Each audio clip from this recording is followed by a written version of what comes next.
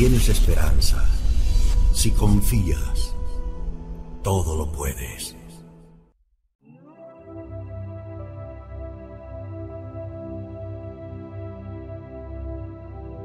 Hola y bienvenidos a nuestro canal Mundo Caballo de Troya. En este video te hablaremos de otra interesante conversación entre Jesús y Jasón, efectuada el 21 de abril del año 30, con un Jesús resucitado. Esta charla la puedes encontrar en el Caballo de Troya 3. Jesús le dijo a Jasón, No te preocupes del cómo. En todo caso, mi querido y asustado Jasón, pregúntate por qué. Y luego de un rato, Jesús, fijando su mirada en el norteamericano, exclamó, Gracias por vuestros sacrificios. Jasón, atónito, le miró de hito en hito. Sonrió con una leve sombra de amargura y comprendiendo la perplejidad del piloto, añadió, Sabes bien a qué me refiero. Vuestra decisión de conocer la verdadera historia del Hijo del Hombre no es fruto del azar. Estos, mis pequeñuelos de hoy, terminarán por alterar involuntariamente mi mensaje. Maestro, yo soy un científico. ¿Cómo puedo comprender y transmitir tu resurrección? Tú estabas muerto. Jesús se dio benévolo a la pregunta, levantó el rostro hacia las estrellas y a media voz comentó rotundo. Hay realidades que difícilmente podrán ser probadas por la ciencia o por las deducciones de la razón pura. Nadie puede concebir esas verdades mientras permanezca en el reino de la experiencia humana. Cuando hayáis acabado aquí abajo, cuando completéis vuestro recorrido de prueba en la carne, cuando el polvo que forma el tabernáculo mortal sea devuelto a la tierra de donde procede, entonces, solo entonces, el espíritu que os habita retornará al Dios que os lo ha regalado y tu pregunta quedará plenamente satisfecha. Entonces, es cierto que la muerte es solo un paso. Tan natural y obligado como la calma que sucede a la tempestad. Pero los hombres de ciencia no creen. La correa de hierro de la verdad, que vosotros calificáis de invariable, os mantiene ciegos en un círculo vicioso. Técnicamente se puede tener razón en los hechos y, sin embargo, estar eternamente equivocados en la verdad. Y dibujando una inmensa sonrisa, añadió, Yo soy la verdad. Me has tocado y ahora me ves y escuchas mis palabras. ¿Por qué sigues dudando? El hecho de que no lo comprendas no significa que esa realidad superior sea una quimera o el fruto de unas mentes visionarias. Cuando llegue tu hora, mis ángeles resucitadores te despertarán en un mundo que ni siquiera puedes intuir. ¿Tus ángeles resucitadores? El maestro apuntó hacia las estrellas.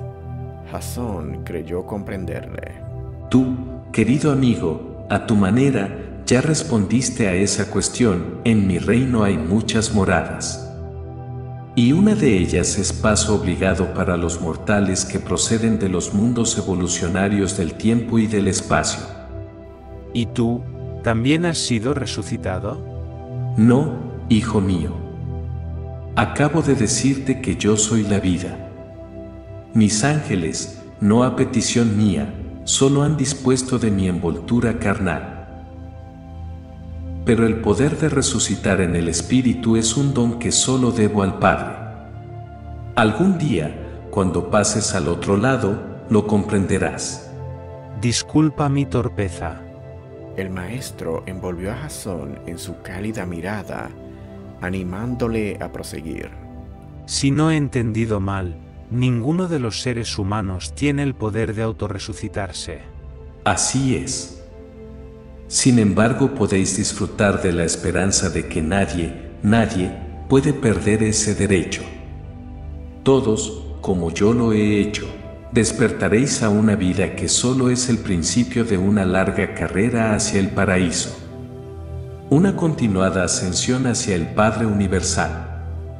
Un viaje sin retorno. Las palabras de Jesús, rotundas, no dejaban el menor resquicio a la duda. ¿Qué quieres decir con eso de que tus ángeles solo han dispuesto de tu envoltura carnal? Te lo he dicho, pero, en tu perplejidad, no escuchas mis palabras. La presencia de Jesús tenía al piloto de las Fuerzas Aéreas de Estados Unidos trastornado. Su limitada inteligencia no hacía otra cosa que dar vueltas en torno a la realidad física de aquel cuerpo surgido de la nada. Yo soy la vida. En verdad te digo que ninguna de mis criaturas puede devolverme lo que es mío y que solo comparto con mi Padre.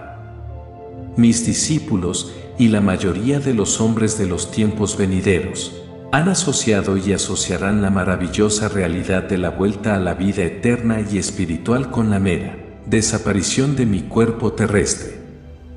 Se equivocan la desintegración de esa envoltura carnal ha sido un fenómeno posterior a mi verdadera resurrección.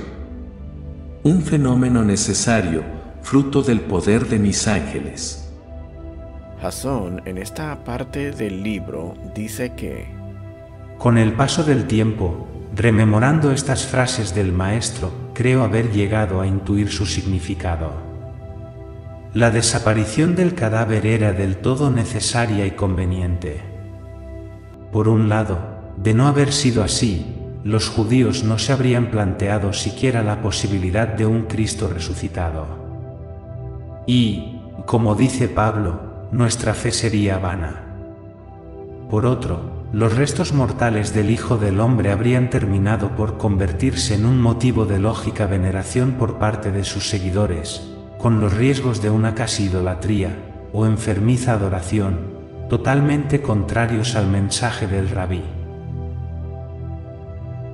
¿Desintegración? Todo el mundo piensa que la desaparición del cuerpo fue un milagro. A ti sí puedo decírtelo. Los milagros, tal y como los conciben muchos seres humanos, no existen. El poder de mi Padre es tan inmenso que no necesita alterar el orden de lo creado. El verdadero milagro es vuestra ciega creencia en los milagros. Sigo sin entender. Ese cadáver se esfumó. ¿Es que tus ángeles conocen una técnica? Tú lo has dicho, pero, al igual que ocurre con vuestro código moral, el de esas criaturas a mis órdenes tampoco debe ser violado. Sé que lo comprendes.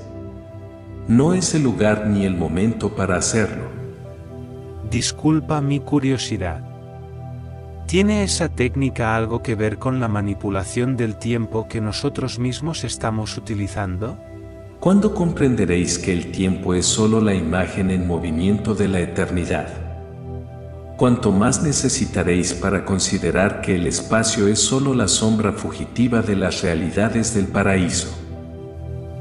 Os enorgullecéis de vuestros hallazgos y pensáis que la verdad absoluta está a vuestro alcance. ¿No comprendéis que sois como niños recién llegados a un orden inmensamente viejo e inconcebiblemente sabio? ¿Y tu maestro, qué lugar ocupas en ese orden? Soy un hijo creador. Hassan negó con la cabeza, dando a entender que no podía seguirle. No pretendas atrapar lo que todavía es invisible a tus ojos de mortal. Te bastará la fe en la existencia del Padre. Muchas de mis criaturas, a pesar de haber traspasado la barrera de la muerte, tampoco están preparadas para enfrentarse, cara a cara, a la luz cegadora del Padre Universal. Y todo parece tan sencillo. Hablas de la muerte sin miedo. Sin embargo, nosotros, vosotros os empeñáis en apagar la luz que late en cada uno de los corazones y que fue depositada ahí, precisamente para vencer el miedo. Si los hombres escucharan su propia voz, nadie temería ese paso. ¿Por qué crees que he vuelto? Es preciso que unos pocos me vean ahora para que otros muchos crean y aprendan a mirar hacia sí mismos. La muerte, hijo mío, es solo una puerta. No temáis cruzarla. Algunos seres humanos temen más la incógnita del después de la muerte que al hecho físico de la misma. Esos, en el escandaloso tronar de sus dudas, silencian la íntima y sabia voz de sus conciencias. Dejad que sea ella quien os guíe. Todo, en la creación de mi Padre, está meticulosa y misericordiosamente dispuesto para vuestro bien. Nadie muere. Nada muere. Todo es un continuo progreso hacia el paraíso. Y ni siquiera ese es el fin. Pero las religiones y algunas iglesias predican la salvación y la condenación. Dice Jasón que fue la única vez que el rostro de Jesús se endureció. No midas a nuestro Padre Universal con la vara de los hombres, ni confundas la religión de la autoridad con la del Espíritu. Algún día, todos los mortales comprenderán que solo la carrera de la experiencia y de la búsqueda personal es digna de la chispa divina que os alimenta a cada uno de vosotros. Hasta que las razas no evolucionen, el mundo asistirá a esas ceremonias religiosas, infantiles y supersticiosas, tan características de los pueblos primitivos. Hasta que la humanidad no alcance un nivel superior, Reconociendo así las realidades de la experiencia espiritual, muchos hombres y mujeres preferirán las religiones autoritarias que solo exigen el asentimiento intelectual. Estas religiones de la mente, apoyadas en la autoridad de las tradiciones religiosas, ofrecen un cómodo cobijo a las almas confusas o asaltadas por las dudas y la incertidumbre. El precio a pagar por esa falsa y siempre provisional seguridad es el fiel y pasivo asentimiento intelectual a sus verdades. Durante muchas generaciones, la tierra acogerá a mortales tímidos, temerosos y vacilantes que preferirán este tipo de pacto. Y yo te digo que, al unir sus destinos al de las religiones de la autoridad, pondrán en peligro la sagrada soberanía de sus personalidades renunciando al derecho a participar en la más apasionante y vivificante de todas las experiencias humanas, la búsqueda personal de la verdad y todo lo que ello significa. ¿Y qué representa esa búsqueda personal? ¿Y tú, embarcado en esta apasionante aventura, me lo preguntas? ¿Qué me dices de la alegría y de las emociones que conllevan vuestros descubrimientos? ¿No ha merecido la pena? Los descubrimientos intelectuales, amigo mío, constituyen siempre una aventura y un riesgo. Pero solo los audaces, los que obedecen a su propio yo, están capacitados para enfrentarse a ello. Solo esos, los auténticos buscadores de la verdad, saben explorar con resolución y sin miedo las realidades de la experiencia religiosa personal. Tú mismo y tu hermano estáis experimentando la suprema satisfacción del triunfo de la fe sobre las dudas intelectuales. Y estas victorias, único objetivo de la existencia humana, solo conducen a un fin, la búsqueda personal de Dios. En verdad, en verdad te digo que todo hombre que se empeñe en esa suprema aventura encontrará a mi Padre, incluso en el desaliento de las dudas. La religión del espíritu significa lucha, conflicto, esfuerzo, amor, fidelidad y progreso. La dogmática, por el contrario, solo exige de sus fieles una parte ínfima de ese esfuerzo. No olvides, Jasón, que la tradición es un sendero fácil y un refugio seguro para las almas tibias y temerosas, incapaces de afrontar las duras luchas del espíritu y de la incertidumbre. Los hombres de fe viajan siempre por los difíciles océanos a la búsqueda de nuevos horizontes. Los rusos se limitan a costear o fondean sus inquietudes al abrigo de puertos limitados. impropios de navíos que han sido hechos para audaces y lejanas singladuras. Esas palabras, en mi tiempo, te llevarían de nuevo a la muerte. No olvides que mi paso por el mundo será motivo de división y enfrentamiento. Dime, ¿qué debe hacer un hombre que desea encontrar la verdad? ¿Tú tampoco has comprendido mi mensaje? Confiar en nuestro Padre. Solo eso. Cada amanecer, cada momento de tu vida, ponte en sus manos. Lucha por la fraternidad entre los humanos. Lucha por la tolerancia y por la justicia. Lucha por los débiles. Él se encargará del resto. El Padre debe de ser un gran tipo. Es tan inmenso que mide los mares en el hueco de su mano y los universos en la distancia de un palmo. Es el quien está sentado en la órbita de la Tierra. El quien extiende los cielos como un manto y los ordena para que sean habitados. Pero no te confundas, Dios es un mero símbolo verbal que designa todas las personalidades de la deidad. Nunca olvides que una parte de ese Dios, de nuestro Padre, entró en ti hace muchos años. ¿Cuándo? Digamos, para simplificar, que en el momento en que tomaste tu primera decisión moral, Entonces, ¿yo soy Dios? Tú lo has dicho. Y a partir de hoy, búscate en lo más íntimo de tu alma. ¿Cómo te llamas? El resucitado no eludió la cuestión. Él sabía que Jasón no estaba refiriéndose a su nombre en la tierra. Entonces Jesús exclamó, En mi reino, mis criaturas me conocen por Micael. ¿Y por qué no adoptaste ese mismo nombre en la tierra? Al principio, por expreso deseo mío, ni yo mismo fui consciente de quién era aquel joven de Nazaret. Así lo exigía mi experiencia entre los humanos evolucionarios del tiempo y del espacio. Solo unos pocos, muy allegados a Micael, supieron de este secreto y lo guardaron celosamente.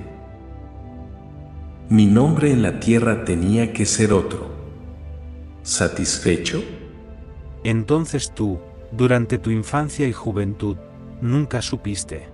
Jesús negó con la cabeza. ¿Y cuándo? Eso, querido Jasón, es algo que deberéis descubrir por vosotros mismos en su momento. ¿Por qué hablas de tu experiencia entre los humanos? ¿Y qué otra cosa puedo decir? ¿Experiencia? ¿Solo eso? Según tú, ¿cómo debería calificarla? De derroche, si me lo permites, innecesario, a juzgar por los resultados próximos y futuros, catastrófico. El soberano creador de este universo también hace la voluntad del Padre. Una vez satisfecha mi sed de conocimiento de los humanos, pude abandonar el mundo y recibir del Padre Universal el definitivo reconocimiento de mi soberanía. Pero, como te digo, no era esa la voluntad del Padre. ¿Quieres decir que el Padre ha podido desear para ti una muerte tan cruel y sanguinaria? Antes de mi encarnación en la tierra, los hombres podían creer en un Dios colérico, sediento de justicia. Su ignorancia era perdonable. Ahora les he revelado a un Padre misericordioso que solo conoce la palabra amor.